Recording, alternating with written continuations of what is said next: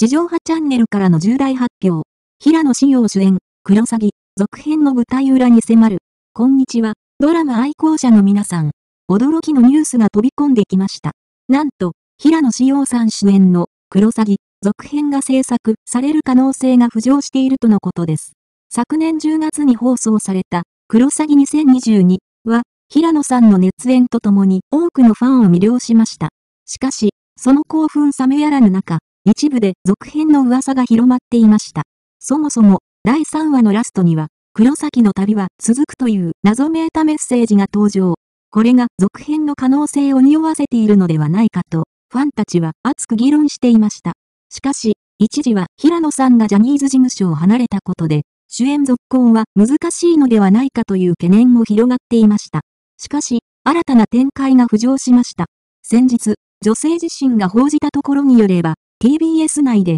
クロサギの続編を制作する動きがあるとのこと。なんと、初代、クロサギの主演である山下智久さんがスペシャルゲストとして登場する可能性も浮上しているのだとか。これにより、ファンたちは再び平野さんのクロサギを楽しむことができるのではないでしょうか。さらに、TBS は新たな制作会社、ザ・セブを立ち上げ、20億円もの総工費をかけて新スタジオを建設。これにより、制作開始が早まり、2024年冬には放送が可能との見方も出ています。もし実現すれば、待望の、クロサギ、続編は2025年1月からの冬ドラマとして輝くことでしょう。クロサギ2022、当年の、クロサギにはどのような違いがあるのか気になりますよね。原作漫画のシリーズに注目してみると、クロサギ2022はシリーズ1、クロサギを元に制作されています。これに対して、従来のクロサギはシリーズ1から13までを元に制作されていました。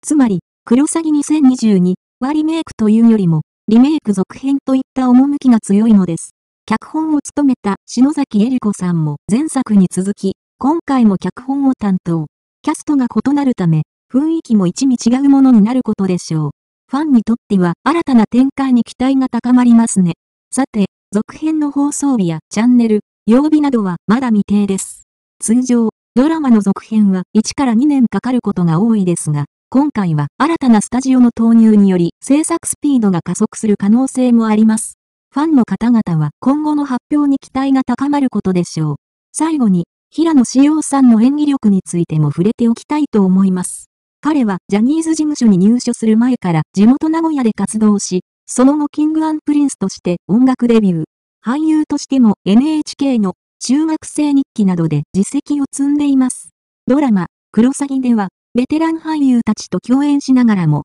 その存在感で視聴者を引き込みました。特にアクションシーンや緊迫した場面での演技が高く評価され、同じ役を演じた先輩俳優をも凌駕したと言われています。石井康春監督からも、平野志陽は最高最強のエンターテイナーだと絶賛され、その才能が認められています。ファンや俳優仲間からも高い評価を受けている平野さんの今後の活躍にも期待が高まります。クロサギの新たな冒険が始まる前に、これまでの感動を振り返りつつ、新たな展開にワクワクしましょう。新たな情報が入り次第、こちらでお知らせいたしますので、お楽しみに。